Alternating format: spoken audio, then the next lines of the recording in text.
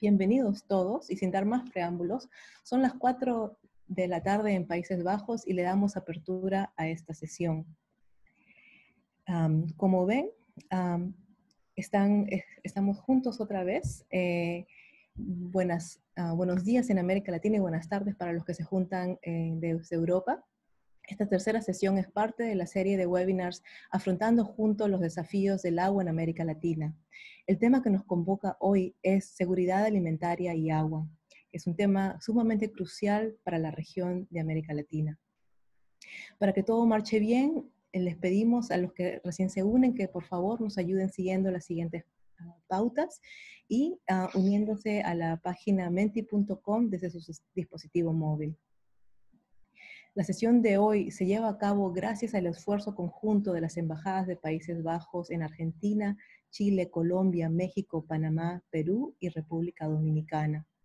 Mi nombre es Janet Tapia, gerente de proyectos para Netherlands Water Partnership, saludándolos desde La Haya.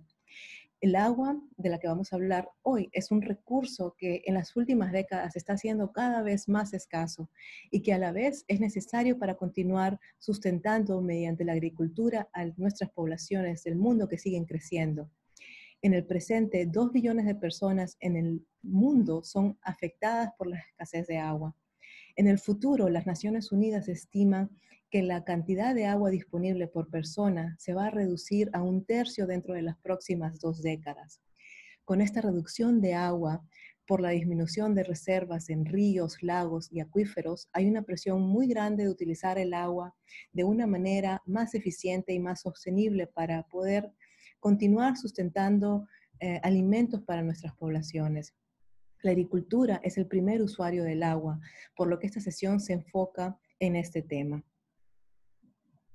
En Países Bajos, el sector agrícola ha ido evolucionando de la mano del sector agua.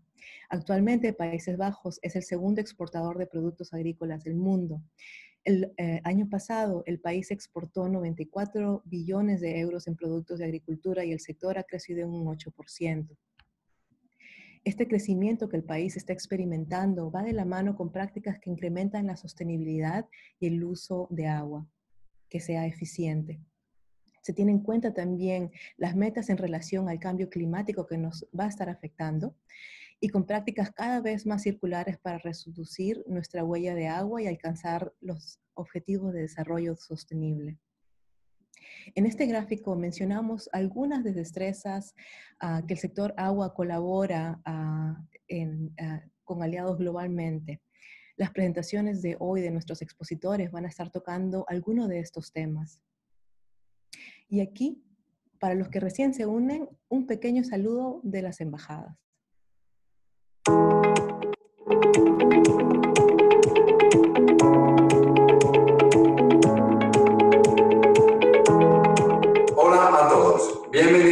Serie de seminarios virtuales sobre el manejo de agua, organizado por las embajadas del Reino de los Países Bajos en América Latina y el Caribe.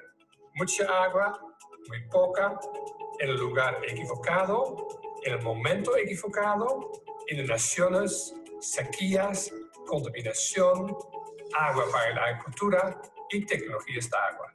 Estos son algunos de los temas que estaremos tocando en los webinars. Es muy importante resolver los retos, los desafíos globales juntos. Y es muy relevante intercambiar conocimiento con expertos en Latinoamérica mostrando a través de ese proceso colaborativo lo que juntos podemos hacer en la región. Desde el Reino de los Países Bajos, reafirmamos así nuestro compromiso de trabajar juntos para enfrentar los retos globales y locales.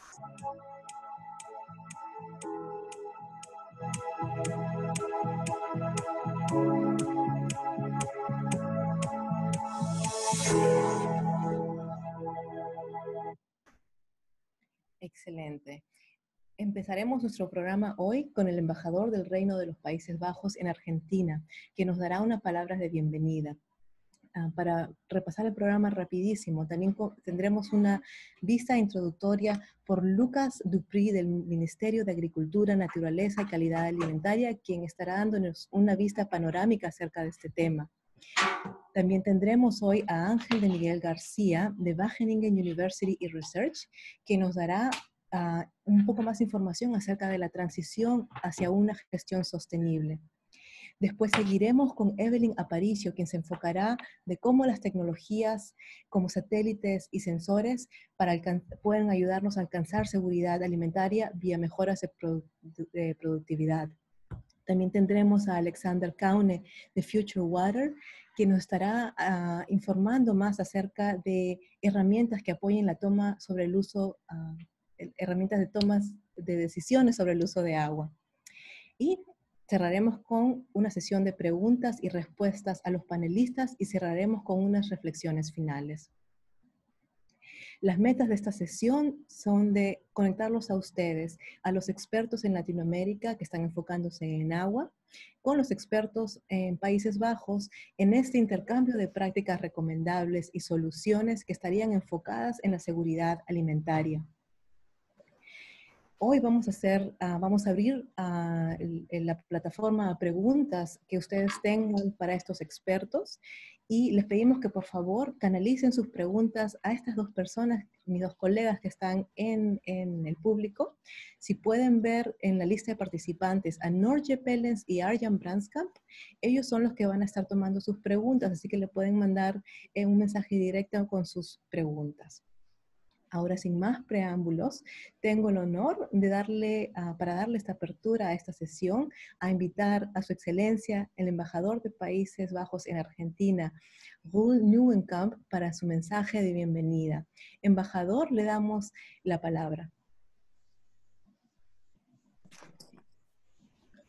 Muchas gracias, eh, Janet, y muy buenos días a todos. Oh, soy.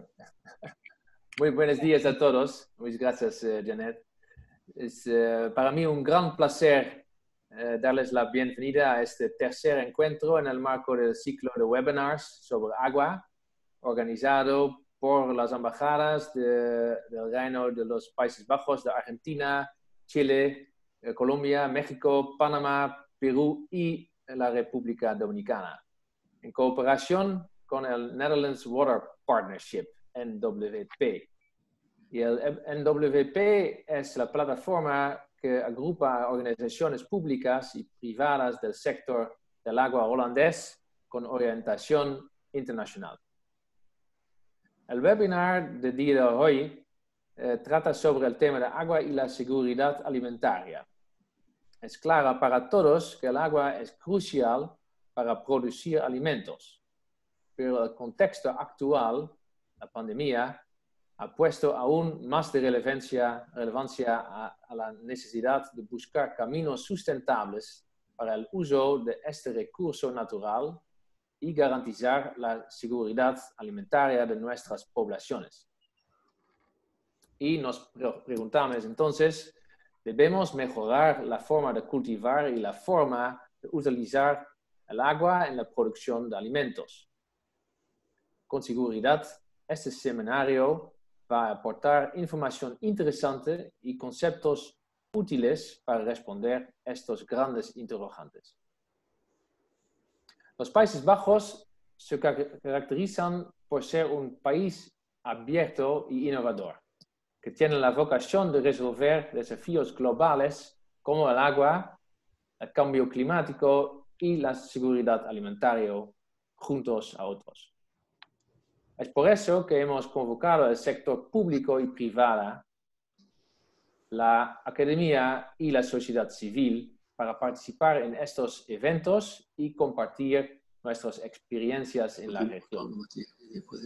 Los invito así a que nos acompañen también en las próximas dos sesiones que serán sobre la gestión del agua a nivel de cuencas y la gobernanza del agua en nuestro último encuentro.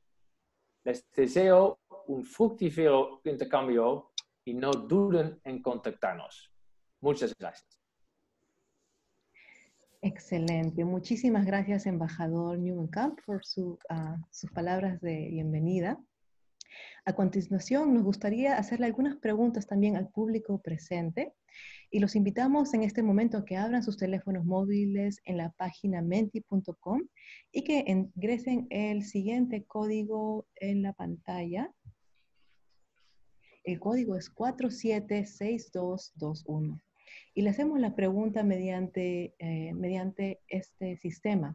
Queremos preguntar, queremos saber de ustedes, ¿qué porcentaje del agua del mundo se necesita para la agricultura? Sabemos que es, eh, es una cantidad grande, especialmente porque muchos cultivos como el trigo, el, ah, el trigo, la soya, eh, son, Yo no lo vi como una emergencia. Cuando ocurrió ya personas, excelente. Eh, si podemos mantenernos todos en mute, pero ya vemos algunas respuestas de algunos participantes. Vemos que la mayoría por ahora piensan que es 70%, 70%. Me parece que cualquier cosa uh, sobre 50% es bastante alto, pero vamos a darle la oportunidad a más personas a que puedan responder.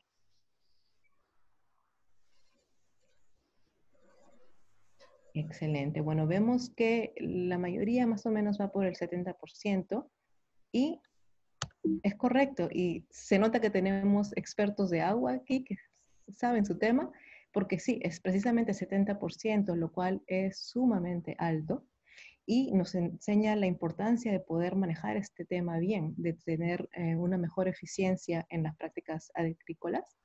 Vamos a pasar para otra pregunta. ¿qué porcentaje de la población de América Latina experimenta inseguridad alimentaria moderada o grave? Sabemos de las necesidades de la región, pero entender un porcentaje es algo más preciso. Sabemos ah, que es alto ah, y tenemos el rango de 15%, 12%, 31%, 26%. Vamos a ver qué es lo que piensa la mayor ah, cantidad de personas aquí congregadas. Vamos a darle un poquito más de tiempo para que los participantes puedan ingresar sus respuestas y tenemos que entre 26% y 31%. Lo correcto es 31%. La Organización de Naciones Unidas para la Alimentación y Agricultura reporta que en el 2018 187 millones de personas a 31% de la población experimenta este problema, cosa que es una, un porcentaje muy grande, pero en el que podemos trabajar juntos. Ahora, para aprender más de cómo podemos mejorar este vínculo del agua y la seguridad alimentaria, pasamos a conocer hoy a nuestros expositores. Ellos nos informarán más acerca del nexo entre, entre el agua y el sector agrícola y la seguridad alimentaria. Para ayudarlos hoy a enfocarse en sus presentaciones, Lucas va a ir primero, Ángel de Miguel García ah, ah, y Evelyn Aparicio Medrano van a ir en este, en este orden para ayudarlos a enfocarse en sus presentaciones, para que no tengan que estar fijándose en el tiempo. Nosotros vamos a darle una señal que va a sonar más o menos de esta forma. Tenemos una señal que va a ser un timbre que va a sonar en breve. Si lo escuchan, excelente. Pero ah, sin más preámbulos, vamos a comenzar. Estamos muy contentos de tener a estos panelistas y voy a hablar un poquito más de cuál es su background ah, para que sepan un poquito más de cuál ha sido la experiencia y de qué ángulo se van a orientar. Ah, pero sin restarle más a las introducciones, comencemos por Lucas Dupré. Lucas Trabaja en el Ministerio de Agricultura, Naturaleza y Calidad de Alimentos de los Países Bajos y él forma parte del equipo internacional de agronegocios y seguridad alimentaria. La área de trabajo en el que él se desempeña es clima y agricultura, diplomacia climática y política climática global. Él ha pasado mucho tiempo trabajando también en Colombia, ganando experiencias en América Latina y él tiene una maestría en gestión internacional de tierras y aguas de la Universidad de Wageningen y una maestría en relaciones internacionales en la Universidad de Radboud. Lucas, ah, si podríamos verte, eh, si podrías prender tu cámara, te damos ah, la palabra y gracias por acompañarnos en esta sesión.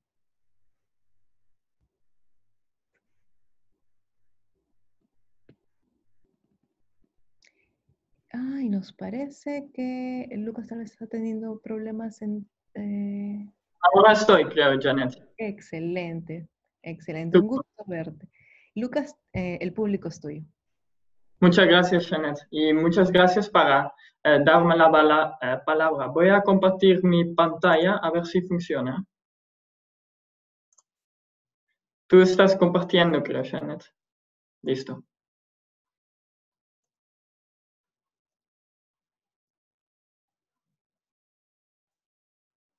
Super, ok. Em, ahora pueden ver la presentación, espero. Eh, si no, me avisan, por favor. Bueno, eh, muchas gracias para darme la palabra y eh, muchas gracias para la oportunidad de presentar aquí a ustedes sobre la seguridad alimentaria y el agua. yo me llamo Lucas Dupré y soy parte del equipo internacional de agronegocios y seguridad alimentaria. Em, del Ministerio de Agricultura, Naturaleza y Calidad de los Alimentos en los Países Bajos. Bienvenidos a todos para participar. Em, y ahora primero les voy a mostrar de qué voy a hablar, eh, muy brevemente. Van a ser unos 10 minutos y voy a hablar de la seguridad alimentaria, eh, la situación actual y la posición de mi ministerio, la relación entre la seguridad alimentaria y el agua, la situación actual otra vez y otra vez la posición. Después voy a entrar a las soluciones hacia una agricultura sostenible y un uso de agua sostenible. Y finalmente voy a hablar de la implementación del ministerio en el exterior. Bueno, la seguridad alimentaria. Primero, ¿dónde estamos? En 2015, los países se pusieron de acuerdo sobre los objetivos de desarrollo sostenibles, eh, uno de estos es eh, el ODS número 2, Zero Hunger. Aquí el objetivo es erradicar el hambre, la malnutrición, aumentar los retornos para los productores de alimentos a pequeña escala y los sistemas alimentarios en la tierra y en el mar, de una manera que contribuya a la preservación de los ecosistemas, fortalezca la resiliencia al cambio climático y mejore la calidad de tierra y el suelo. Y si miramos dónde estamos, desafortunadamente estamos todavía lejos de este reto. Em, vemos que el número de personas con desnutrición crónica aumentó de 784 millones en 2015 a 820 millones en 2018. Y más de 113 millones de personas experimentaron hambre en 2018. Además, el sistema alimentario mundial contribuye con el 24% de las emisiones de gases de efecto invernadero. Como ya ha dicho Janet, consume el 70% de los recursos hídricos y provoca la pérdida del 60% de la biodiversidad de vertebrados desde la década de 1970.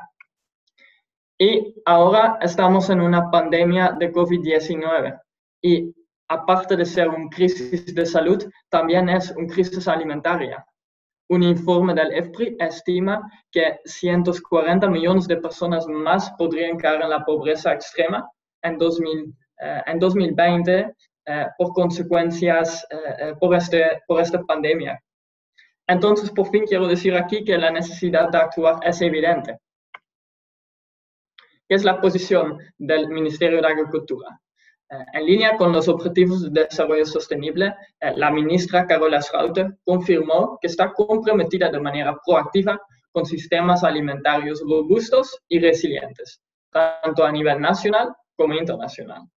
La política internacional de la seguridad alimentaria eh, es una política que tenemos junto con el Ministerio de Relaciones Exteriores.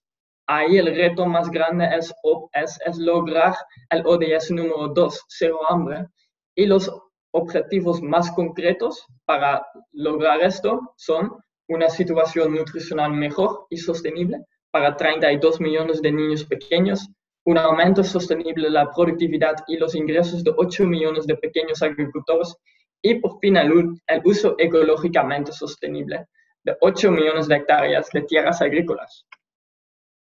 ¿Y cómo? La visión para llegar a eso tenemos aquí es una agricultura sostenible en armonía con la naturaleza, la biodiversidad y los ecosistemas, que aumenta la productividad y los ingresos de manera que no ponga en peligro la producción y la asequibilidad de los alimentos.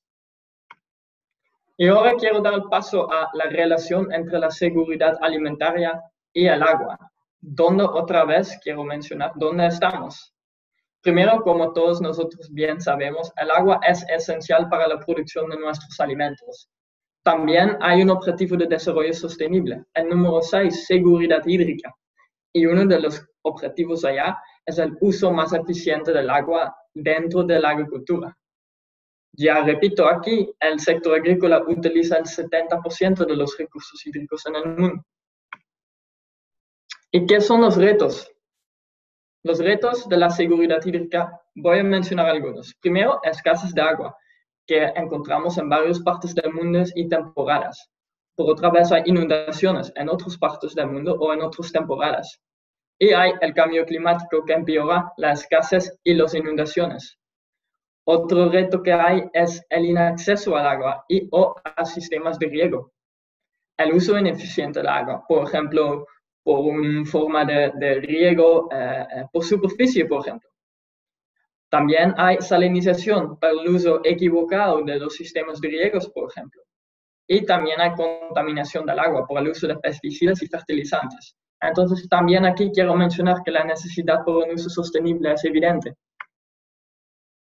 Y ahí, ¿qué es la posición del ministerio? Eh, existe, tenemos la ambición internacional del agua, eh, NIVA. Eso es la política común del gobierno, con tres ministerios, con el objetivo de aumentar la seguridad hídrica en el mundo y optimizar la contribución holandesa para eso. Dentro de esta política, mi ministerio se enfoca en la coherencia entre el agua, la producción de alimentos y la preservación de la naturaleza y la biodiversidad el objetivo más concreto para lograr los objetivos de desarrollo sostenible es 4 millones de personas y su medio ambiente con un uso optimizado del agua en la agricultura.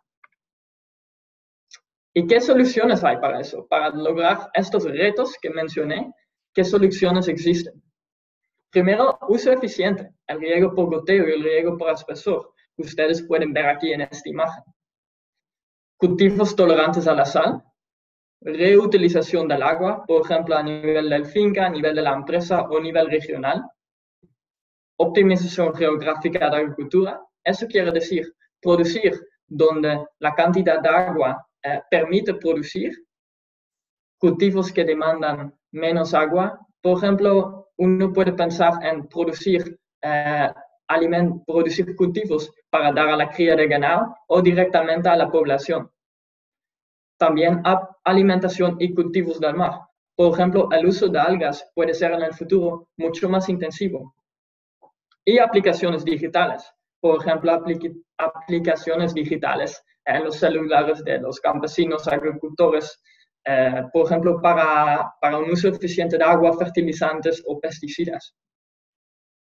¿Y cómo es la implementación de mi ministerio en el exterior? ¿Cómo tratamos de lograr estas cosas? Bueno, primero quiero mencionar una excelente reputación en el mundo. Somos la segunda exportador en productos agro en el mundo. Además, tenemos eh, un sector privado innovador y centros de conocimiento como Wageningen Universidad. También eh, tenemos el concepto Dutch Diamond Approach. Eso significa una estrecha cooperación entre el sector privado, el gobierno, centros de conocimiento y, eh, y ONGs, por ejemplo. Además, tenemos una red de consejeros agrícolas activa en más de 70 países. Ellos están allá para posicionar el sector privado y los centros de conocimiento. Además, ellos diseñan y se, ponen en, en, marcha, eh, la puesta en marcha de proyectos y programas sostenibles. Y por último, quiero mencionar soporte y apoyo a foros internacionales como el Global Alliance on Climate Smart Agriculture. Esta es una alianza que une a varios actores, empresas, gobiernos, centros de conocimiento, para em, intercambiar el conocimiento sobre agricultura sostenible. Ok, con eso quiero terminar esta presentación y, otra vez muchísimas gracias por la participación.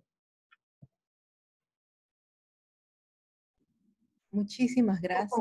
te agradezco mucho, Lucas, que te hayas unido a este panel y que nos informes acerca de, esta, de, los desafíos ah, que son muchos, pero que también ah, traen oportunidades. Y como tú dices, eh, una transición a, a, la agricultura sostenible es evidente. y lo que me gusta es que también hablas de este impacto múltiple de esta transición no solo mejoran las prácticas de agricultura, pero también la biodiversidad y la naturaleza. Te agradecemos mucho. Ahora quisiera abrirle la, la palabra a Ángel de Miguel García, doctor en hidrología, quien trabaja para Wageningen University y Research él está trabajando en temas relacionados con agua y agricultura y enfocándose en el uso eficiente y sostenible de agua en pequeñas y grandes escalas. Ángel tiene una amplia experiencia en huella, ah, trabajando con huellas hídricas y tecnologías basadas en la naturaleza para el tratamiento y el reuso de aguas residuales de riego. Lucas nos dio una buena introducción. Ahora Ángel se va a enfocar en una de, las soluciones ah, de esa transición. Ah, Ángel, ¿Te vemos en la pantalla?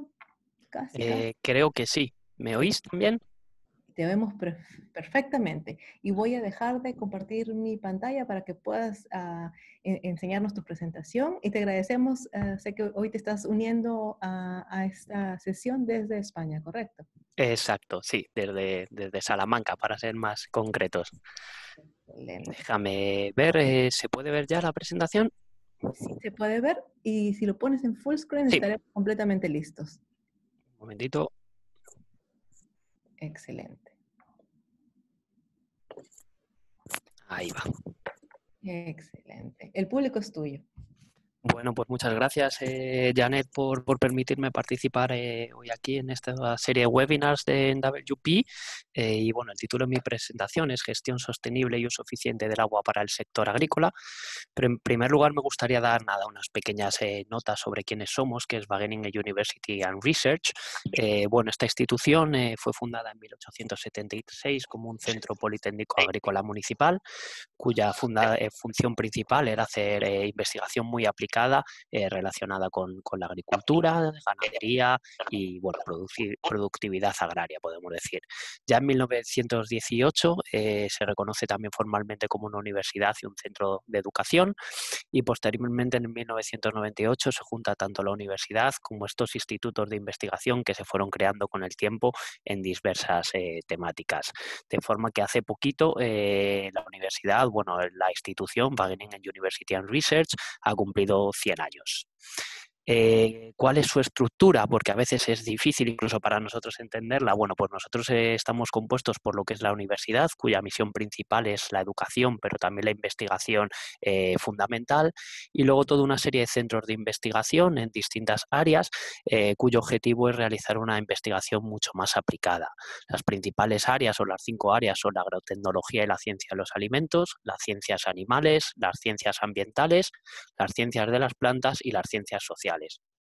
En total somos como unos 7.000 investigadores y empleados y unos 14.000 estudiantes eh, con un carácter eminentemente internacional. Creo que hay un total como más de 120 eh, países eh, que participan o estudian en, en Wageningen University and Research. Tenemos tres pilares. nuestro, bueno, nuestro, nuestro lema es este de aquí, explorando el potencial de la naturaleza para mejorar la calidad de vida. Los pilares principales son salud y sociedad, medio ambiente y recursos naturales alimentos, seguridad alimentaria y bioproductos. Y para ello eh, creemos fuertemente en la necesidad de una estrecha relación con la sociedad, eh, el gobierno y el sector privado, pues es la única forma de avanzar en el conocimiento científico y en su aplicación. Entrando un poquito ya más en, materia, eh, a mí siempre me gusta, eh, aunque la mayoría de los participantes vienen de Latinoamérica y conocen probablemente mejor que yo cuál es eh, la situación actual, siempre me gusta dar una pequeña, una pequeña visión. en este mapa de aquí, que proviene de, bueno, del Aqueduct Water Risk Atlas, podemos ver el riesgo global en relación con, el agua eh, de Latinoamérica y como podemos ver en la mayor parte de Latinoamérica existe un riesgo bajo, eh, pero sí que existen zonas concretas donde estos riesgos son más elevados. Este indicador engloba una serie de, de subindicadores que incluyen cantidad de agua, calidad, acceso a la información, etcétera. Cuando lo desglosamos un poco y nos, eh, fijamos, por ejemplo, en los riesgos relacionados a la cantidad de agua, ya sea por exceso o por defecto de agua, vemos que aparecen una serie de zonas muy concretas donde el riesgo es mucho más elevado o incluso extremo. Y si lo vemos desde el punto de vista de la calidad, ya sea por, por eh, bueno, acceso a, a sistemas de potabilización, acceso a saneamiento o incluso por contaminación de los propios recursos, podemos ver también que en algunas zonas de Latinoamérica el riesgo es mucho más elevado. Esta, eh, este ALDAS además nos permite evaluar un poco la perspectiva en 2030 eh, desde el punto de vista, por ejemplo, de la demanda del agua, donde podemos ver que en ciertas partes de Latinoamérica se espera un incremento importante de hasta dos veces en el, en el uso de agua, eh, eminentemente o principalmente por, por la agricultura, y también esto puede causar en ciertas zonas de Latinoamérica un aumento en el estrés hídrico, principalmente en aquellas zonas donde se espera un mayor consumo de agua eh, asociado a su vez también con probablemente un decremento de los recursos hídricos disponibles debido al cambio climático. ¿Dónde se encuentra Latinoamérica? Bueno, como hemos visto en las preguntas, eh, Latinoamérica se encuentra muy cerca de la, media, de la media nacional, con el uso agrícola en un 72%, eh, muy por encima del uso industrial y del uso urbano. Eh, sí que es verdad que debido a que en general en el continente existe una disponibilidad de agua muy grande, este uso total de, agua no supone ni el 2% de, de, los usos renovables existentes en Latinoamérica. Aunque esto no quita que en ciertas zonas, en ciertos momentos eh, la demanda o el estrés hídrico generado pueda ser muy elevado. Como podemos ver en esta, en esta otra figura de la FAO, eh, el uso de agua y principalmente agrícola ha aumentado casi en un 50% con respecto desde el 2006 al 2016. ¿Cómo podemos afrontar eh, esta escasez o estos posibles problemas potenciales a futuro? Bueno, por un lugar, tratando de gestionar el agua de la forma más inteligente posible. Y para ello, eh, lo recomendable es hacer una gestión integral de los recursos hídricos, que tenga en cuenta eh, la unidad de gestión sea la cuenca, es decir, aquella unidad en la que se mueve y en la que engloba al agua. No podemos pensar en gestionar el agua desde un punto de vista territorial o administrativo, sino que siempre tenemos que hacerlo desde un punto de vista de cuenca como una unidad de referencia. El agua hay que gestionarla no solo pensando en la cantidad, sino también en la calidad del recurso hídrico, porque podemos tener una misma escasez si el agua disponible no, no tiene la calidad suficiente para lo que queremos utilizarla. Y además debemos pensar en todo el territorio, en el paisaje, incluyendo en esta gestión del agua todos los sectores involucrados, pero también la sociedad, la naturaleza y como, que no, y como no eh, el suelo y no solo el agua. Hay que tener claro que toda acción que se realiza en una cuenca va a afectar a los usuarios aguas abajo. ¿Cómo podemos hacer eh, también o mejorar esta gestión eh, a, futuro? Bueno, pues teniendo en cuenta eh, el concepto de circularidad, el cual actualmente se encuentra bastante en boca de todos, pero que puede ser muy importante para reducir tanto los impactos sobre los recursos hídricos como minimizar el uso y mejorar la eficiencia. asociado a este concepto de circularidad, desde los Países Bajos se ha creado y se está impulsando un nuevo concepto, que es el concepto de agricultura circular eh, que lo que trata, bueno, es hacer lo que siempre se ha venido haciendo en la agricultura en el pasado, es decir, reusar eh, todos aquellos eh, desechos que existían para reutilizarlos de nuevo en el propio uso productivo, pero hacerlo usando las, las tecnologías disponibles. De esta forma, el objetivo es minimizar las pérdidas en toda la cadena de producción, cerrar los ciclos, tanto de nutrientes, nitrógeno y fósforo, de carbono, de energía y, por supuesto, los ciclos del agua. Esto mediante el uso de la tecnología que nos permita reutilizar los residuos en la cadena de suministro agrícola y alimentaria y reprocesarlos en nuevos, en nuevos productos, principalmente de mayor valor agregado. Desde el punto de vista del agua, una forma de, alcanzar esta circularidad es mediante el reuso, mediante la, eh, utilización. El objetivo es pasar de sistemas lineales como este que tenemos a la izquierda, donde lo principalmente que hacemos es extraer agua de, de una masa de agua, utilizarla y en el caso de que haya excedentes, como una ciudad, devolverla tratada o sin tratar al río. Eh, en el caso de una economía más circular o una agricultura circular, el objetivo sería, una vez este agua es utilizada, eh, tratar de darle una calidad adecuada para poder reutilizarla en otros usos, como por ejemplo el riego en agricultura. Claramente esto tiene muchos beneficios. Eh, por un lado, podemos reducir la cantidad de nutrientes, puesto que, como todos sabemos, el agua residual ya contiene ciertos nutrientes, reduciendo la cantidad de nutrientes que necesitaríamos en agricultura. Eh, reduciríamos el impacto ambiental al evitar vertidos directos sobre los ríos y por supuesto, tiene una serie de contras o de riesgos que deben ser minimizados y controlados, de forma que se garantice la seguridad de los usuarios y de los potenciales consumidores. Para ello es fundamental que exista una regulación muy clara que determine cómo, cuándo y con qué se puede regar y cuáles son los tratamientos o la calidad necesaria. En esta otra figura que tenemos aquí a la derecha, eh, bueno, eh, se enseña eh, de una forma de una forma cualitativa, podemos decir, cuál es el estado actual de, la reutilización en Latinoamérica, en el continente latinoamericano, y podemos ver que, el riego directo, es decir, el uso de aguas tratadas o regeneradas para riego, es muy pequeño, sería el cuadro verde, mientras que lo normal que ocurre en Latinoamérica es el riego con aguas no tratadas de forma indirecta, es decir, aguas residuales que son vertidas a un río sin tratar y que usuarios abajo toman para regar sus propios cultivos. Y esto claramente se hace sin ningún tipo de regulación y sin ningún tipo de cuidado. Hace poco, eh, en diciembre, tuvimos un taller muy interesante eh, en Colombia, junto a la Embajada colombiana, el Ministerio eh, de Medio Ambiente de Colombia y otra serie de actores, en el que abordamos este, este tema de la agricultura circular y el reuso. El taller fue muy interesante, participaron como unas 80 instituciones, tuvo una gran acogida y una de las conclusiones que obtuvimos eh, después de la discusión eh, fue, que detectamos que bueno, actualmente en Latinoamérica y en Colombia en particular existen muchas iniciativas eh, relacionadas con la gestión del agua y con la circularidad, pero que ninguna de ellas recoge específicamente este concepto de agricultura circular y muy pocas de ellas tienen un enfoque global o integrador, sino que se enfocan eh, en, en, elementos específicos. Vimos la importancia de revisar el marco normativo actual, tanto el de reutilización como el de uso de otros eh, materiales en agricultura, para poder facilitar esta circularidad.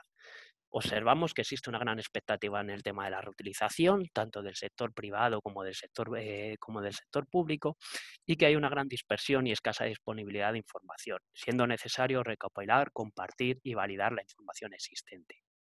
Y por supuesto vimos que en todo esto hay que, ir mucho más allá del agua, gestionando no solo el agua, sino el suelo y la tierra.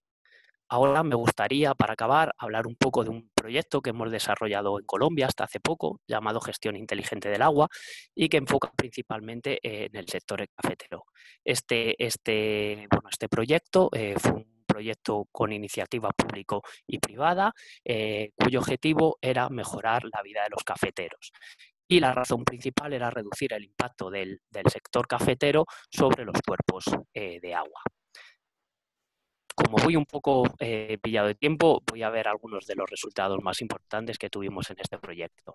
Bueno, pues el proyecto, entre otras cosas, eh, desarrolló una serie de, monitoreo climático y sobre todo sistemas de alerta temprana para generar información y poder avisar a los agricultores eh, de ciertas prácticas que debían tomar en ciertas épocas del año en función de las condiciones de humedad del suelo puesto que este proyecto también, su principal motivación era eh, la contaminación eh, de los cuerpos de agua debido a la actividad cafetera y sobre todo al procesado eh, del café que se realiza en las propias fincas, puesto que en Colombia casi todas las fincas cafeteras son de pequeño tamaño, pues el proyecto, una de las cosas que hizo fue tratar de buscar si realmente ese, ese impacto era tan grande como se esperaba o como se decía al principio y cómo podía solucionarse. De esta manera se hizo un monitoreo, un monitoreo de agua a gran escala, detectando que el impacto es real, que, existe un impacto sobre los cuerpos de agua en la época de cosecha, pero que era menor al inicialmente pensado, debido a que el medio tiene una alta capacidad de depuración, pero también vimos que no solo la actividad cafetera es la que impacta en estas cuencas que se encuentran normalmente en las partes altas, sino que existen muchas otras actividades que impactan las actividades cafeteras. Para finalizar, eh, bueno, uno de los objetivos también del proyecto fue ver eh, cómo, eh, mediante la introducción de nuevas tecnologías, se podría mejorar la eficiencia en este proceso. Para, por un lado, reducir la cantidad de agua en el proceso beneficiado, este proceso que se realiza en las fincas para obtener el café seco, pero también reducir la contaminación, de forma que pudiéramos movernos de valores de utilizar unos 40 litros por kilo de café eh, procesado a menos de 0,5 y reduciendo también la huella hídrica del gris, es decir, la contaminación de unos 6.000 litros a menos de 400. El problema es que aunque la tecnología existe, los eh, caficultores, eh, debido a que bueno, tienen otras cosas que hacer y otros intereses y además existe una falta de capacidad de inversión, no siempre la llevaban a cabo. De esta forma, desarrollamos alguna serie de soluciones, como es esta que vemos aquí, basándonos en la naturaleza y en lo que ocurría en el medio. Por ejemplo, nos dimos cuenta que muchos caficultores echaban los efluentes al río y algunos de ellos tenían la suerte de que por medio se encontraban algunos campos de guadua relativamente planos, donde el agua residual se infiltraba y se autodepuraba. De esta forma lo que hicimos fue tratar de imitar ese proceso natural mediante un sistema denominado filtros verdes. El objetivo era, después de un pretratamiento, eh, esos efluentes al suelo de una forma controlada, viendo, como vemos, por ejemplo, en esta foto, una reducción de eh, la contaminación, en este caso materia orgánica, de más del 98%. Además, los costes de estos tipos de sistemas son mucho menores que los convencionales. Para finalizar, eh, con, bueno, con esta serie de, mensajes y concluir mi presentación, eh, desde nuestro punto de vista, creemos que la información es esencial para la toma de decisiones, es necesario generar, validar y compartir la información. El sector agrícola debe afrontar la gestión del agua como un reto presente, reduciendo su uso y minimizando el impacto y es importante tener un enfoque circular, con el reuso como una herramienta que debe incluirse en la planificación. Este enfoque debe ser integral y basado en el territorio, no solo basado en el agua, sino utilizando a todos los sectores, el suelo y el territorio, y deben existir políticas y normativas que se adapten al contexto local. Por último, decir que, el efecto multiplicador de las, eh, que existe un efecto multiplicador de iniciativas público-privadas, aunque este efecto puede diluirse cuando el objetivo es meramente ambiental y no existe un claro eh, caso de negocio. Por eso es muy importante que el sector público también apoye al sector privado en empujar hacia, este, hacia conseguir eh, que la agricultura sea ambientalmente más responsable. Muchas gracias y, y bueno, queda a su disposición. Muchísimas gracias por ah, compartir ah, esta, esta, información tan importante, eh, Ángel. Eh, este caso de eh, los filtros verdes para el caso de café en Colombia, sumamente interesante. Y me parece que las presentaciones van a estar, ah, van a estar disponibles para aquellos interesados también después de esta sesión. Muchas gracias. Eh, ahora hemos hablado de una gestión sostenible, una transición. Ahora vamos a enfocarnos en algunos ejemplos de tecnologías que nos pueden ayudar con esta transición. Tenemos ejemplos de tecnologías creadas en Países Bajos ah, para estos fines, para poder completar esta, esta transición a una gestión más sostenible. Queríamos mencionar alguna de ellas para darles algunos ejemplos concisos. Ah, por ejemplo, tenemos en nuestras pantallas uh, esa tecnología llamada Spark Water de Acacia Water, que se encuentra trabajando en desalinización, drenaje y, por ejemplo, en mejorar el riego por goteo y reducir los daños causados por la sequía y sal. Mm, también tenemos otros ejemplos, por ejemplo, de que KWR, que es una organización que se encuentra trabajando en proyectos relacionados a la infiltración de agua dulce, ah, también en las mejoras de recursos subterráneos y tratando el problema de sal, especialmente en áreas costeras, incluso trabajando en la creación de nuevas reservas para mejorar la autosuficiencia de agua regional. También queríamos mencionar otro ejemplo, por ejemplo, a eLeaf, que con su tecnología Time Mapping transforma los datos meteorológicos de teledetección en parámetros cuantificados relevantes para la producción de cultivos.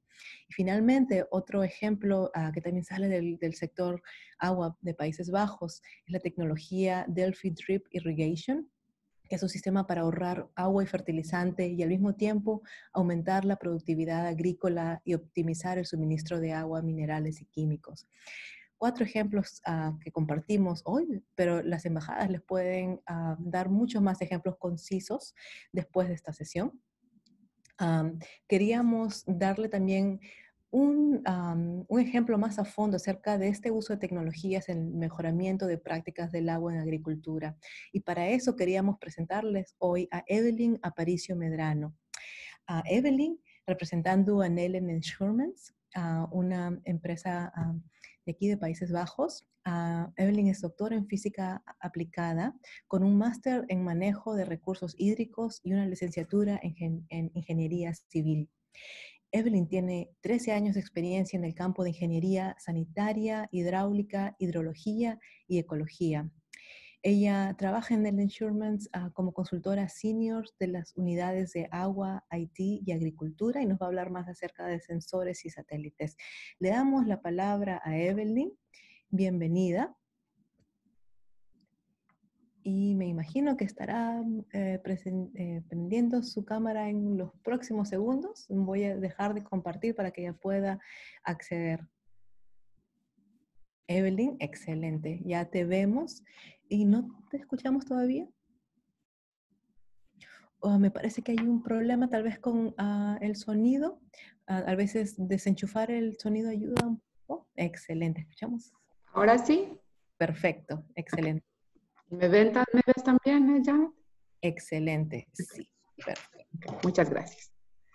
gracias ah, también agradecerles por la oportunidad de poder presentar como decía Janet, es, un, es otro tipo de, de, visión la que, la, que, la, que yo voy a discutir acá, porque habíamos visto un poco la visión ministerial, cuáles son a, grandes, eh, cuáles son las, cuál es la visión del ministerio holandés en este, en este, en este tema. Luego habíamos visto la perspectiva un poco de, desde la investigación. Y nosotros como empresa privada vamos a, trabajamos en eh, proyectos bastante prácticos. Entonces voy a, voy a hablar sobre el pronóstico eh, de la disponibilidad de agua utilizando satélites y los sensores para asegurar la productividad agrícola. completamente relacionado a lo que son las, uh, las uh, Development Goals 2 y 6. Entonces, ¿qué es lo que voy a decirles hoy? Voy a hablar un poquito de la empresa, quiénes somos, dónde trabajamos, con quiénes trabajamos, la filosofía de la cadena de la información, que es eh, la base de, de, nuestros proyectos. Disculpa, Evelyn, ¿puedes compartir tu pantalla para que podamos eh, ver su presentación? Eh, ¿No pueden verla? Pensé que sí. No, en este momento no. A ver, espérate. Ah, excelente, me parece que Excelente, perfecto, gracias. Ah, gracias, pensé, entonces estaban solo viéndome a mí. Excelente. ¿Ahora sí? Perfecto. Ya.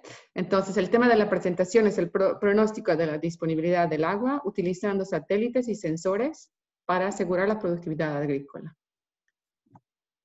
Gracias, gracias por el... Ahora, eh, yendo a un poco más a detalle, ¿qué es lo que voy a decir hoy? Voy a hablar un poco de la empresa, quiénes somos, dónde trabajamos, con quiénes trabajamos Voy a hablar de la filosofía de la cadena de la información, que es, forma la base de nuestros proyectos y, y que cómo trabajamos. Y los ejemplos, tres ejemplos específicos que hablan sobre esta integración de datos y un poquito de cómo, qué, es lo que qué es lo que hemos trabajado hasta el momento en Bolivia. Al final, un resumen, los takeaways, unos puntos que me parecen muy interesantes y importantes compartir. Y también unos sitios de interés, porque voy a hablar mucho de datos y, y voy a utilizar también uh, eh, eh, algunas cifras, entonces para que puedan, eh, si quieren después, investigar un poco más.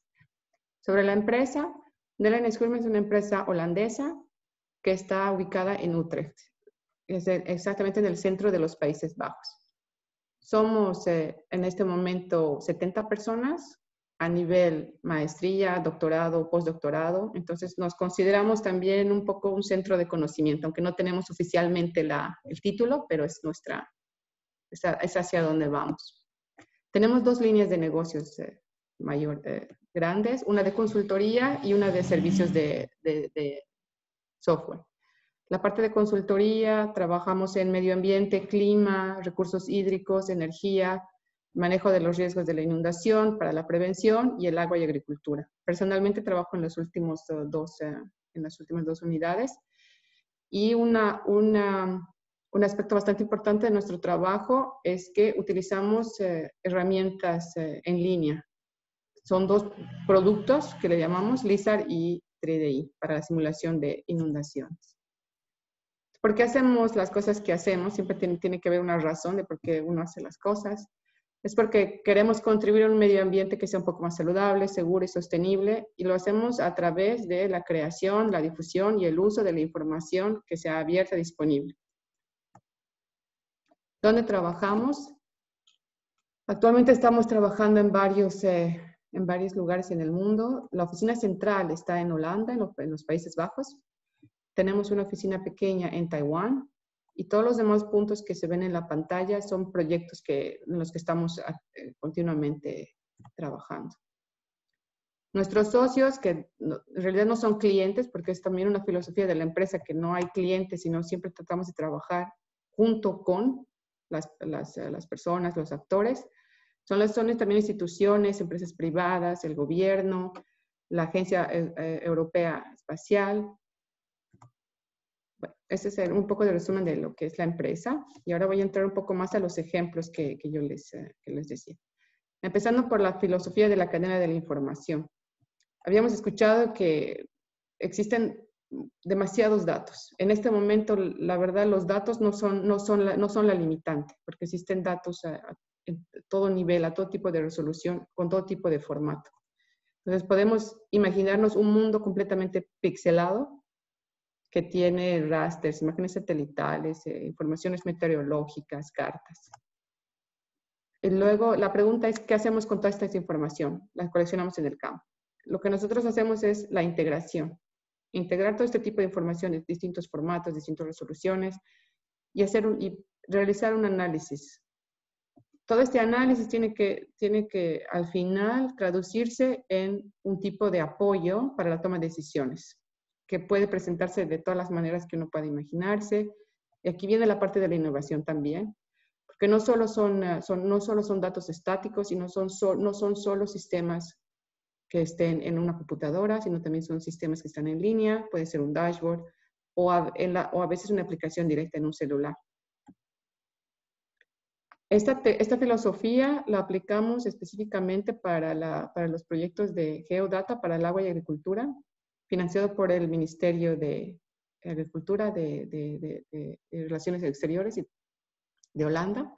Y estamos trabajando bastante en, en la parte de Asia. Tenemos eh, ejemplos de Bangladesh, de Indonesia, de Vietnam, para el café, para distintos tipos de producciones agrícolas, como el café, como el arroz, las, las plantaciones de pimienta también y para, los, eh, para distintos vegetales.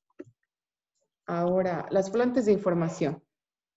Cuando hablamos de información para la agricultura, hablamos de distintos tipos de información. Se necesita información desde el tipo de suelo, la textura del suelo, la elevación, datos meteorológicos que incluyen precipitación, temperatura, humedad. Ahora, todo este tipo de información, en este momento existen fuentes abiertas y las he, las he puesto aquí en una tabla que me parece importante compartir. ¿Cuáles son los tipos de, dónde, de dónde se puede conseguir este tipo de información? Por otro lado, y ahí está la diferencia, existe los datos comerciales, tienen otro tipo de resolución. Evidentemente, bajo costo, y se puede ver que para, para tener, digamos, un análisis eh, macro, puede utilizarse la información abierta, pero cuando hablamos de parcelas de agricultores de una hectárea o menos, quizás sea interesante eh, trabajar con la parte privada, que es lo que Miguel Ángel mencionaba. Voy a hablar un poco más de eh, en, ejemplos. Este es un proyecto que trabajamos en Indonesia que se llama Spice Up. El proyecto lo que quiere hacer es apoyar a los agricultores en el, en el uso eficiente del agua, no solo del agua, pero también de los fertilizantes y de los nutrientes, para la producción de la pimienta. Eh, lo que proponemos es lo que no, no solo proponemos, lo que entregamos es la información sobre la idoneidad del suelo de acuerdo a distintos parámetros, las condiciones meteorológicas, que a veces uno piensa, pues el agricultor lo sabe todo, aquí no hay, no hay nada nuevo que podamos decirle, pero en realidad no es cierto porque el, el, clima está cambiando, las condiciones también van cambiando y, eso genera distintas, diferentes condiciones. Luego ofrecemos también una información específica sobre la irrigación. Y esto significa eh, no, al, no al litro, pero dadas las condiciones actuales de la humedad del suelo y las condiciones meteorológicas a futuro, ¿qué sería, qué sería lo mejor que, uno, que un agricultor podría hacer? Irrigar hoy o esperar dos días y esperar que llueva. Entonces, yendo un poco más en detalle al tipo de información que, que se trabaja para poder dar este tipo de asesoramiento, son este tipo de cartas, de mapas, en, esta parte central lo que se puede ver es, una carta de, idoneidad del suelo. Hacemos de nuevo la conexión con la primera presentación. Existen tipos de suelos que son ideales para un cierto tipo de plantación o que hayan sido, pero a través del tiempo este, este, esta idoneidad ha cambiado porque ya no tienen la cantidad de nutrientes eh, necesaria o la cantidad de agua. Entonces, este tipo de idoneidad puede, puede puede calcularse utilizando otro tipo de parámetros y las condiciones actuales. Ahora, hay unos pequeños puntos rojos ahí, que son las ubicaciones de las plantaciones de pimienta actuales. Se puede ver si, si evidentemente están ubicadas en los lugares donde hay mejores condiciones para que, para que tengan una producción mayor. Y sobre todo, el objetivo aquí es eh, mostrar dónde se podrían eh, trasladar esas plantaciones o a qué lugares se podrían extender. También, con el mismo tipo de información, se, puede, se pueden hacer unas cartas de la irrigación necesaria, haciendo un, un balance hídrico, que sería un nivel bastante básico, cuál es la cantidad de agua que existe, la meteorología, la demanda, y proporcionar, como aquí en el mapa de abajo, proporcionar la información de ahora irrigar o tal vez después. Luego el otro ejemplo, este es un, ese es un ejemplo de, de lujo, porque en, en, los Países Bajos se, se, cuenta con bastante información, información a detalle, a, altos niveles de detalle. Estamos hablando de 50 centímetros de, de resolución. Entonces, cuando se tiene este tipo de información, se puede producir un, se puede, se puede producir resultados también a una gran resolución. Aquí lo que muestro en el nivel, en, esta imagen de derecha, son las pequeñas parcelas, eh, parcelas de agricultura, más o menos de un, menos de un kilómetro, de un kilómetro cuadrado, y cada color significa el, el nivel de sequedad. Entonces, eh,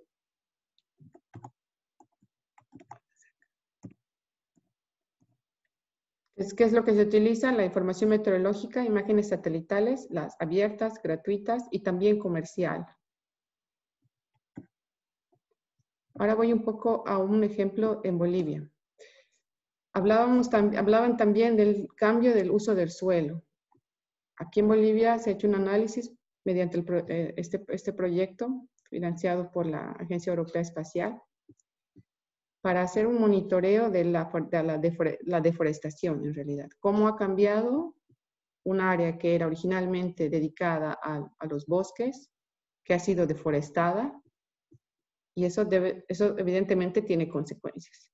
Entonces, un tipo de análisis que puede, hacer, puede hacerse con este tipo de imágenes satelitales es, es analizar en qué momento se ha producido el cambio y dónde, para ser un poco más específicos acá.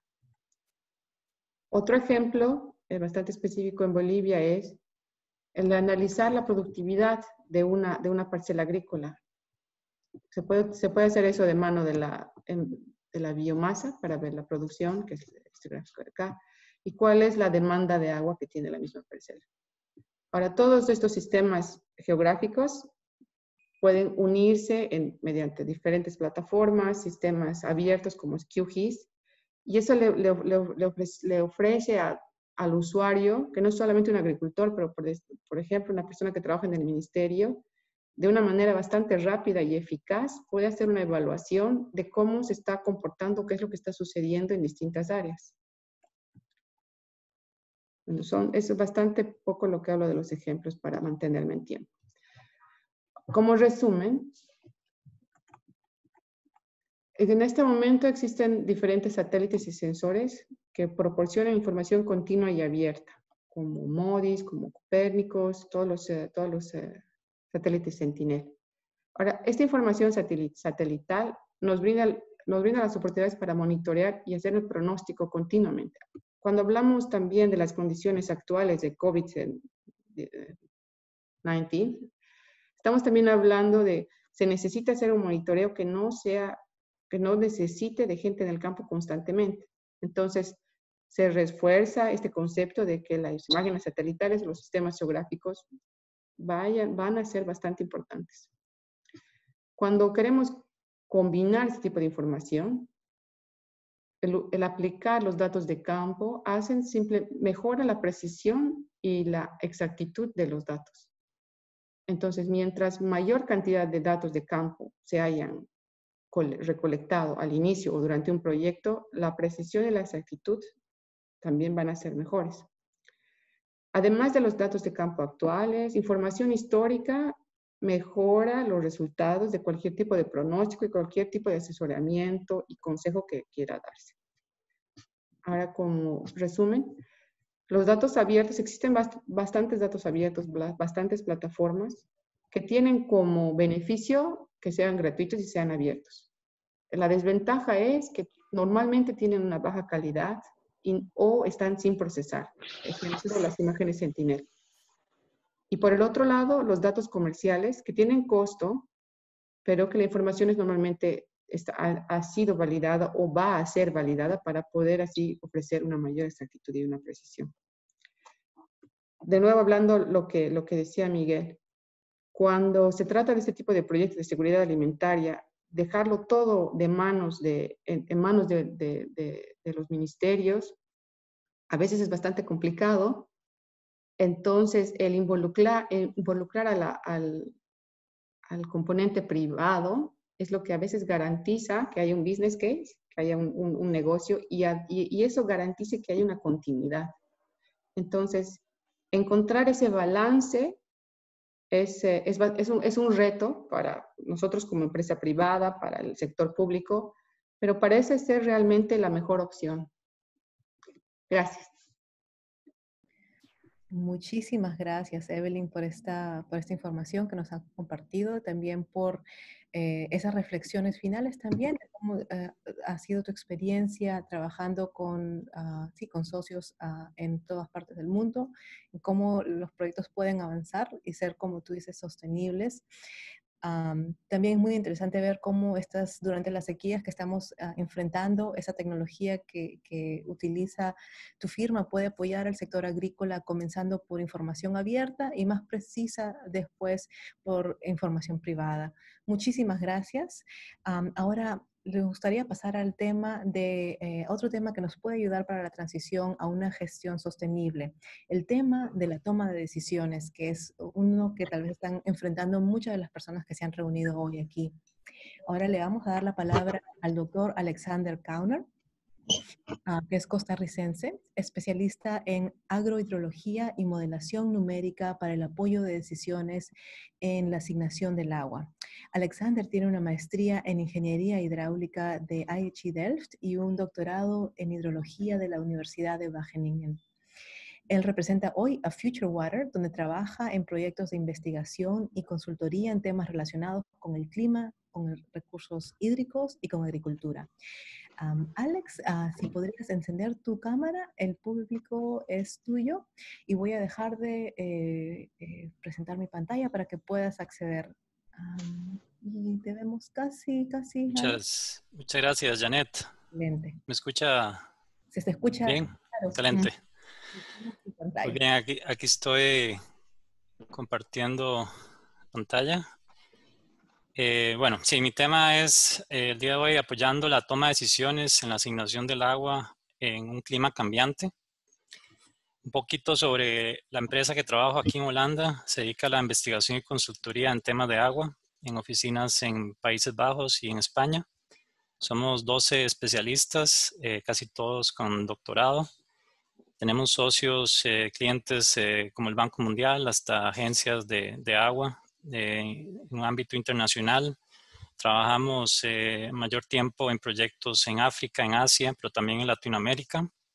Y nuestros resultados eh, normalmente son informes técnicos e informes de políticas, eh, publicaciones, hasta publicaciones científicas. Y damos formación y capacitación y desarrollamos y aplicamos modelos virológicos. Nuestra filosofía es, bueno, realmente los tomadores de decisión quieren saber qué pasa en el futuro. Esa es la gran incógnita. Y nosotros lo que tratamos de hacer es ver tendencias, observaciones, estadísticas, cuestionarios eh, y sensores remotos. Y usamos las políticas existentes para poder evaluar alternativas como modelación de simulaciones y utilizar herramientas de decisión en la gestión del agua. Muy bien, claro, el problema de la gestión del agua es que tenemos el cambio climático y los efectos adversos pueden ser bastantes. Y existe una acción específica, de acuerdo al Acuerdo de, París en el 2015, estableció aumentar la capacidad de adaptación a los efectos adversos del cambio climático de un, de un modo que no comprometa la producción de alimentos. Pero ¿qué pasa a nivel local? Debemos cuantificar los efectos en el ciclo hidrológico y sus impactos en la agricultura. Por ejemplo, la evapotranspiración eh, va a ser más alta en bosques y en cultivos, va a haber un aumento en la variabilidad climática, eh, también va a haber periodos más largos y frecuentes de déficit hídrico en el suelo que va a afectar eh, la producción de cultivos. También la demanda de riego va a ser más alta y los periodos más largos también van a ser en los flujos bajos de los ríos que va a afectar la disponibilidad hídrica para los diferentes usuarios en una cuenca. En Latinoamérica, pues tenemos varios ejemplos de noticias que ha habido eh, noticias históricas sobre los, efectos del cambio climático en los Andes, eh, eh, los problemas de deshielo en los glaciares, también la parte de sequías. Personalmente, bueno, yo vengo de Costa Rica y también hubo un impacto bien fuerte de la temporada 2014-2015 con una de las sequías más intensas desde 1930. También en Colombia, en el 2015 al 2016, hubo un impacto fuerte de sequías y un impacto en la disponibilidad hídrica para la parte urbana y la agrícola, obviamente. Un reto para agricultores y agencias de agua que deben tomar, obviamente esto, esto significa un reto enorme para agricultores y agencias de agua que, que deben tomar decisiones. En, el aspecto de, para los agricultores, decisiones en zonas de cultivo de secano y sistemas de riego, eh, es importantísimo tener una planificación y operación adecuada. Y las preguntas que normalmente eh, se dan es, bueno, obviamente qué plantar, es decidir qué, qué producto plantar, cuándo y dónde plantar, dependiendo cuándo empieza la época de lluvia. Y, también la ubicación, ya sea en una cuenca o en una provincia, también cuándo aplicar fertilizantes durante el crecimiento del cultivo y también cuándo regar y cuánto regar con el agua disponible. Después tenemos a otro nivel decisiones en distritos de riego o agencias de agua que tienen que tomar estas decisiones importantísimas.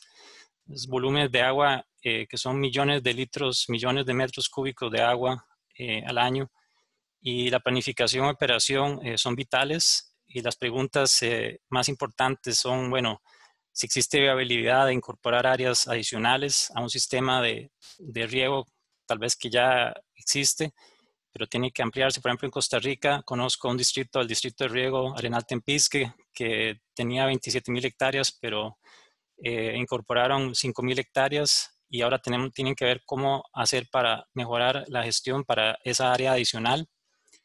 También existe otra pregunta clave que es la viabilidad de cambiar cultivos. Tal vez existen cultivos más apropiados para esa zona o tal vez el mercado así lo requiere.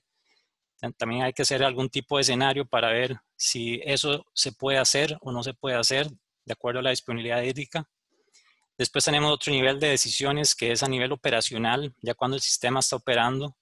Los gestores, bueno, los operadores tienen que saber cuándo abrir y cerrar las compuertas eh, con la disponibilidad hídrica y la demanda. Y eso tiene que ser en un, área bastante grande, más de 25 mil hectáreas, y es, es, es, sumamente difícil. ¿Cómo puede apoyar Future Water a este diferentes niveles de escala? Eh, por ejemplo, hemos trabajado en Mozambique, en África, utilizando eh, sensores remotos, específicamente drones pequeños que son de bajo costo para poder utilizar eh, sensores, cámaras que puedan tomar imágenes desde el aire y tener una resolución bastante alta para poder predecir eh, lo que es la productividad hídrica del cultivo que va de la mano del crecimiento de la vegetación y el uso del agua y también del rendimiento de la producción del cultivo. Por ejemplo, aquí tenemos una intervención en, un área de cultivo eh, de mejoras eh, agronómicas que aumentó la productividad hídrica en un 18% en un área casi de 4 hectáreas. También tenemos una evaluación a una escala de provincia. Por ejemplo, esta es una provincia eh, en Angola, donde evaluamos la capacidad de uso de la tierra a nivel de provincia y a diferentes municipios, donde podemos observar lo que es la idoneidad del suelo para eh, producir eh, papa entre el periodo de octubre a diciembre, siendo la parte eh, más anaranjada, roja, la parte que no es idónea para esa producción, que también, va en función de la lluvia y de la temperatura ideal para el crecimiento apropiado de esos cultivos. Toda esta información, como explicó también Evelyn antes, es de datos de sensores remotos de satélites, que son datos abiertos y son a escalas aproximadamente 250 metros, eh, una resolución de 250 metros. A un nivel de, finca agrícola, una finca comercial, una finca que tiene sistemas de riego eh, presurizados, uno de los, graves problemas son los costos altos de, consumo de energía y fertilizantes. Nosotros eh, ponemos a disposición información sobre lo que son los requerimientos de agua para diferentes tipos de cultivo dependiendo de los, de los coeficientes de cultivo, también de la precipitación efectiva en esa zona y la evapotranspiración potencial. También podemos decir algo sobre el riesgo de pérdida de fertilizante debido a la percolación profunda y dar un estimado, un indicador para, para que el agricultor tome mejores decisiones cuando aplicar el fertilizante durante el crecimiento de los cultivos. Un proyecto interesante también en Colombia, eh, evaluamos la disponibilidad hídrica en la cuenca del río Coello y también la demanda en un distrito de riego que está en la parte baja, aproximadamente de 30.000 hectáreas. Y ese distrito de riego eh, es, es, importantísimo para la producción de riego, de, de la producción de arroz y de, de maíz y de otros cultivos. Otro proyecto importantísimo eh, en Colombia es la evaluación, el valor de, sistemas de riego eficientes que fue financiado por el gobierno de los Países Bajos a través del programa eh, Partners for Water, eh, que es una colaboración bilateral. También una empresa local en Colombia, Sinipalma, Solidaridad y Delphi, una compañía holandesa, están involucrados en este proyecto y un proyecto eh, enfocado en la parte de, manejo integral, una herramienta para el manejo integral del agua. Eh, como cliente, la Corporación Autónoma Regional del Valle del Cauca eh, en Colombia. Y tenemos un producto que se llama Infosequía, lo que permite monitorear lo que es la sequía meteorológica y también la ambición de incorporar la sequía hidrológica.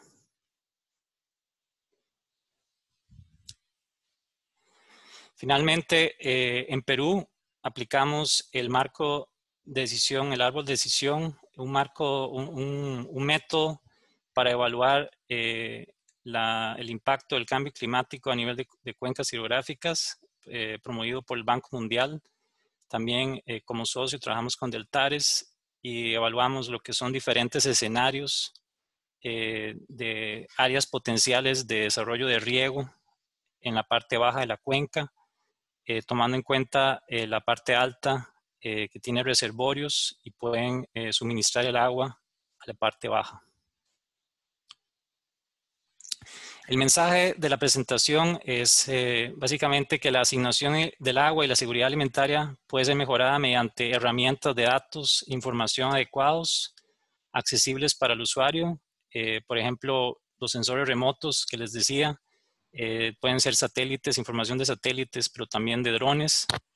es, es, crucial hacer una evaluación integral de la disponibilidad y demanda hídrica a nivel de cuenca, a distrito de riego, a usuarios de riego, eh, que también no solo tiene que ser el usuario de riego, pero también tener una parte integral de, la parte de, energía hidroeléctrica y también las, las, costas, eh, de, por ejemplo, que necesitan eh, agua para, para turismo, para zonas urbanas y poder hacer esa gestión de una manera adecuada, tomando en cuenta los escenarios futuros eh, que pueden haber debido a sequías y, cambio climático. Muchas gracias. Muchísimas gracias, Alexander. Ah, muchas gracias. Y ahora voy a compartir mi pantalla para pasar a la próxima ah, parte de esta sesión. Ah, bueno, el caso de Papa, por ejemplo, que compartes a Alexander a nivel provincial, el mapa compartido enseña dónde no es idóneo continuar sembrando papa basada en cambios. Es algo que yo pienso que vamos a hacer mucho en el futuro con estos cambios de patrones de lluvia, por ejemplo. y es un, ah, un, ejemplo excelente. Muchas gracias por compartirlo. Justo. A continuación vamos ahora a enfocarnos en algunas preguntas que el público ha estado haciendo, que han sido destacados por nuestro equipo. Y me gustaría tal vez mantenerte, Alex, en, línea para ah, elevar la pregunta que, ha, surgido aquí para, eh, ah, para tu presentación. Nos pregunta alguien de la audiencia, ¿cómo puede asistir Future Water y sus tecnologías en temas no solamente de escasez físico, pero también económico y agrícola? Y repito la pregunta. Sí, eh, sí entiendo, entiendo por dónde va, sí. bueno, nuestra, nuestra compañía, pues la filosofía o la visión es, es cuantificar eh, la disponibilidad hídrica y la demanda y utilizar eh, sensores remotos, información abierta para apoyar a toma de decisiones, ¿verdad? Es, es, es nuestro principal punto de venta eh, para poder hacer consultorías o, apoyo a tal vez a sistemas de operación, eh, ya sea de distrito de riego o zonas agrícolas. Em, pero claro, la parte económica es importantísima y, también eh, se trata sobre lo, que son los costos, ¿verdad? De, implementar un sistema, por ejemplo, cambiar un sistema de, de, riego por superficie a un riego por, por goteo que implican costos eh, bastante altos para el agricultor, porque existe obviamente ese debate donde las personas dicen, bueno, ¿por qué no todos los agricultores usan riego por goteo? Eh, o sea, las personas tienen la mentalidad así que, que eso es más eficiente y eso va a ahorrar agua. Pero bueno, primero están los costos involucrados que el agricultor debe tomar y también otro aspecto importantísimo que no hablé un poco, hablé, un poquito nada más aquí en la presentación, pero es el hecho de que a veces los sistemas de riego por goteo no necesariamente implican un ahorro de agua a nivel de cuenca. Tal vez eso suena contraintuitivo, pero sí hay casos donde eso ocurre porque también automáticamente como la eficiencia eh, se aumenta en el uso del agua, lo que sucede es que el agricultor, ya que invirtió en ese sistema más eficiente, va a querer eh, expandir el área de riego. Entonces, finalmente, eh, el agua que utilizaba al principio va a seguir utilizándose al final. Entonces, eso es una forma, obviamente hay mucha investigación y muchas eh, consultorías y muchas, muchas realidades que, se ven dependiendo del, tipo de, cuenca que tengamos. Pero bueno, esa es la parte un poco económica y también de, ahorro de agua que mencionaba. Y, lo último era, era la parte económica y algo más. la parte económica ah, y agrícola. Bueno, la, parte agrícola es justamente, bueno, que va relacionado a eso, ¿no? Que, por ejemplo, hablamos, hablé un poco en la, en la presentación de la productividad hídrica que va vinculado a, los rendimientos del cultivo. Eh, por ejemplo, eh, ese proyecto que teníamos en Mozambique, el, objetivo principal era, era mejorar los rendimientos de cultivo, porque los rendimientos eh, son bajísimos. Están, para maíz está en una tonelada por hectárea y, también existe un problema gravísimo en, seguridad alimentaria y, y, eso también va de la mano de, o sea, no solo del rendimiento, pero también el uso del agua. Y bueno, por ahí va un poco. No, muchísimas gracias por tu, por tu respuesta y se ve que, bueno, estas tecnologías son claves para hacer, eh, como nos enseñas, una respuesta para un tipo de cultivo no es la respuesta para todos y también eh, depende del tipo de cuenca.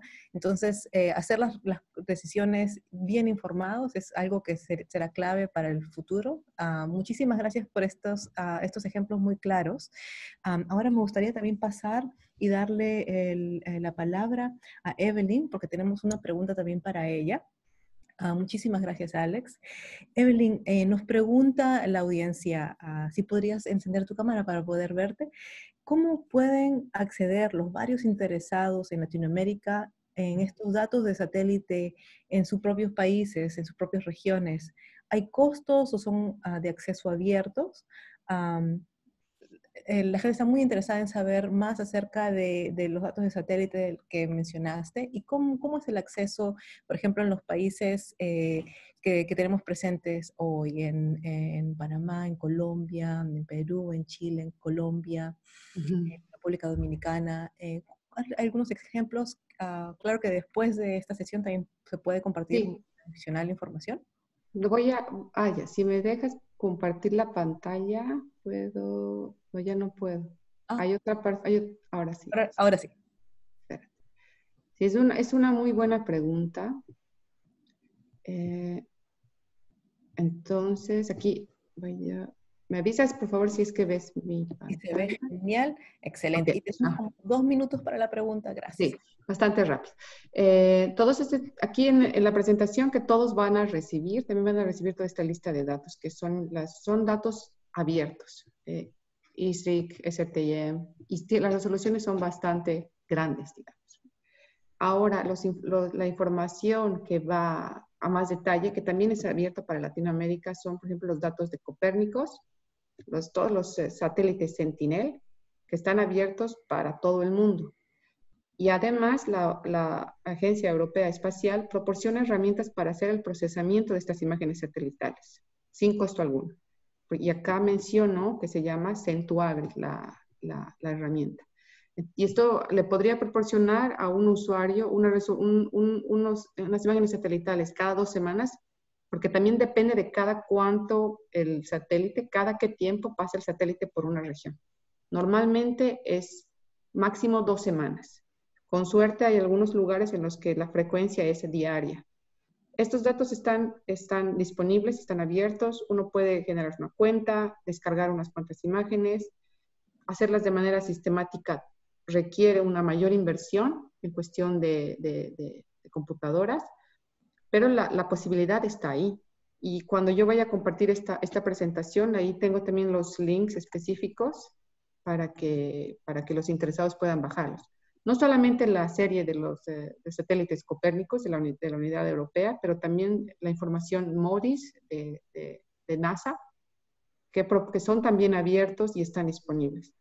Ah, también hay una herramienta Google Earth Engine que proporciona muchos datos abiertos y disponibles para Latinoamérica, para África y a distintas resoluciones. Pero cuando vean la presentación van a poder apreciar.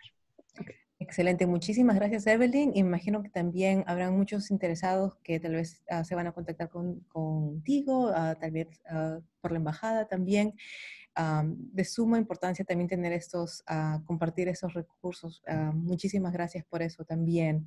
Ahora me gustaría elevar una pregunta para Ángel. Ah, nos dice alguien de la audiencia, en vez de simplemente eh, eh, o además de prohibir el uso de ciertos ah, tipos de pesticidas y fertilizante, ¿cómo podemos eh, transicionar a una gestión más sostenible, mejorando la relación entre las autoridades y los granjeros hasta una producción más alta y más sostenible? Y repito la pregunta, Ah, nos preguntan, en vez de eh, simplemente prohibir el uso de ciertos tipos de pesticidas y fertilizantes, ¿cómo también podemos mejorar la relación entre las autoridades y los granjeros para llegar a una producción más alta y sostenible? Eh, eh, Alex o Ángel, discúlpame, si podrías responder la pregunta. Sí, bueno, yo creo que, que la palabra no está en prohibir, o sea, desde mi punto de vista no todo tiene que ser prohibir o no prohibir, sino regular. Es decir, existen multitud de fertilizantes, eh, de agroquímicos que, que, no nos engañemos, se necesitan para producir en el actual sistema agrario. Eh, lo importante es eh, bueno, que se usen con conocimiento y que, que, bueno, que esta relación entre las instituciones gubernamentales, el conocimiento científico, el sector privado y los, los usuarios sea estrecha para, para establecer los límites y que la gente entienda por qué existen esos, esos límites y para qué son. Es decir, cuando se pone un límite a algo no es, no es por gusto, no es por, por, por hacer a un productor que, que, gane menos dinero, sino es por la salud de todos. Entonces yo creo que, que todo es importante es importante la regulación, pero creo que es más importante que entendamos que, que, es por el beneficio de todos. Yo creo que esa relación estrecha es, es fundamental y hay que explicar muy bien también por qué se hacen las cosas cuando se, se pone una regulación. Tienes mucha razón. Y si todos estamos trabajando en, en, en, estos goles de desarrollo sostenible, me parece que trabajando juntos se llega mucho más, pero también, eh, como mencionas, que los reglamentos también son importantes, no solo una prohibición, pero para más que todo como una guía. Uh, muchísimas gracias. Um, la, la, verdad es que estoy eh, muy contenta y yo pienso de que hay muchas personas en la audiencia que se han beneficiado mucho de esta información. Ahora, antes de irnos, uh, nos gustaría tener una última oportunidad de interactuar con ustedes, con los expertos de agua en Latinoamérica que se han congregado hoy. Uh, quisiéramos hacerle una pregunta para ver eh, cómo se puede utilizar esta información que han aprendido, que hemos uh, aprendido todos, actually, en esta sesión. Uh, quisiéramos que vayan una última vez a su Mentimeter, a la pantalla de Mentimeter. Y, eh, bueno, en este caso vamos a usar el código bueno, 47, 62, 21. Y la pregunta que tenemos, eh, que quisiéramos hacerle, y también en este momento pueden abrir sus cámaras, sería genial también verlos, ¿cuáles son algunos uh, casos en los que el uso de agua en agricultura en su país específicamente podría mejorar la seguridad alimentaria basado en todo lo que hemos visto y aprendido hoy, los sensores, en, en, la información abierta vía satélite, en trabajando los ministerios con los uh, granjeros. Eh, ¿Cuáles son uh, algunos ejemplos que ustedes ven en los cuales eh, en su país se podría mejorar la seguridad alimentaria uh, basada en todo lo que ha visto? Si tienen algunas ideas, el código, si van a menti.com y utilizan el código 476221, y ya vemos algunas uh, respuestas, algunas ideas en sus países. Vemos que, por ejemplo, una persona dice tecnología de riego, drip irrigation, el reuso de agua que es tan importante. Uh, cosecha de agua de lluvia uh, es algo que, que, vemos más y más y que es, ayuda mucho a, reducir esta huella hídrica. También vemos eficiencia de riego, cosecha de agua, eh, ah, me encanta este, este ejemplo. En el departamento de Bolívar, específicamente en Caldas, en Antioquía, mejoramiento de los sistemas de riego y reuso, reutilización de agua y reciclaje. Y vamos a dejar esto prendido para que también eh, vean qué ideas vienen de, de, los expertos en Latinoamérica. Vamos a dejar esto encendido uh, por un tiempo. Uh, pero queríamos agradecerles uh, por congregarse hoy. Uh, me parece que hemos tenido una jornada súper informativa. Hemos visto que este tema es muy amplio y los retos son diversos. Sin embargo, como ven, las ilusiones están ahí y hay proyectos en los que ya ha habido cooperación en Latinoamérica, en diferentes países. Es sumamente importante poder mejorar nuestras prácticas de agua para poder sustentar a nuestras poblaciones y disminuir la inseguridad alimentaria y nos parece que podemos llegar mucho más lejos trabajando en conjunto para llegar a estas metas y es, me encanta poder eh, haber podido compartir esos ejemplos y agradezco muchísimo a los panelistas. Les recordamos que las embajadas de Países Bajos están dispuestos a ayudarlos a entablar uh, siguientes conversaciones uh, para poder entablar iniciativas o proyectos conjuntos en América Latina usando la experiencia de Países Bajos en estos temas.